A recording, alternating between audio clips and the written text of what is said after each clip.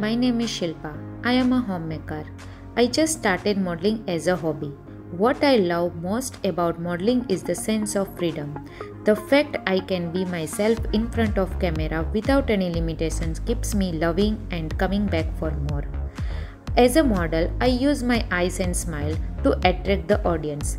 My modeling style is flirty, playful, and classy. And as a model, I walk with confidence and with attitude. My personality is very friendly and energetic. Thank you.